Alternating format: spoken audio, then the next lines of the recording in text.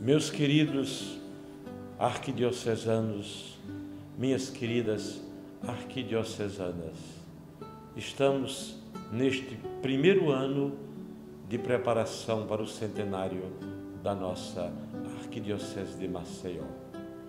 Portanto, no Natal, depois de uma assembleia, depois de um ano de muita atividade, no ano mariano, nós anunciamos com alegria esta grande notícia, esta celebração deste ano jubilar. É dentro deste espírito que eu desejo a todos e a todas um feliz e abençoado Natal, precedido como está sendo de uma rica novena do Natal em família. De modo especial, estamos celebrando pelas ruas da cidade o Natal com as famílias dos moradores e moradoras de rua. Nossa Senhora Aparecida, nos seus 300 anos de bênção, está percorrendo e visitando todo lugar, toda marquise, onde se encontram os nossos irmãos e irmãs moradores de rua. Façamos um Natal solidário, façamos um Natal silencioso, um Natal sem barulho, Natal de luz, acendendo nos nossos corações sempre a luz da solidariedade, a luz da esperança.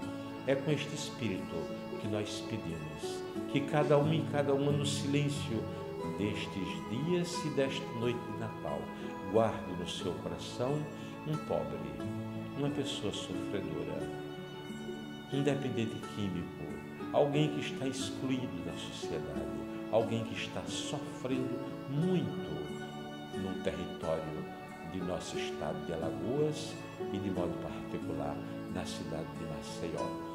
Que cada um coloque um destes sofredores, um daqueles que estão e daquelas que estão nas prisões, no submundo das prisões, nos porões da humanidade.